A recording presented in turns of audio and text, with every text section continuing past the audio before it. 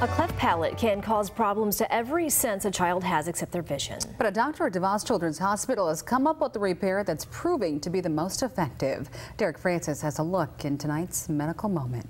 Only half as common as a cleft lip, a cleft palate occurs in 1 in 1,000 children worldwide. There's a big gap in the roof of the mouth and even in the back part of the throat. And while it doesn't affect a patient's appearance, it causes troubles to their hearing and speaking. If I did not have a palate that was functioning, we wouldn't be having this conversation. A cleft palate can also cause eating problems early in life. Breastfeeding, for example, because you can't create the proper suck. I usually tell families, congratulations on your baby. You don't have quite the work of twins, but you have a little the work of uh, a little bit more than one. Many doctors worldwide perform a procedure that pulls over skin to fill that gap. But if you've got a big wide cleft, if you just pull it together, you can imagine how restrictive that is on the facial growth. Sure.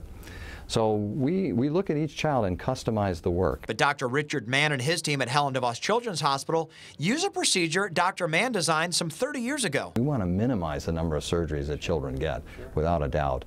And by adding the, what we call the buccal flap tissue, that's the tissue that's inside your cheek that you kind of bite on once in a while, it's very readily, easily moved into the palate.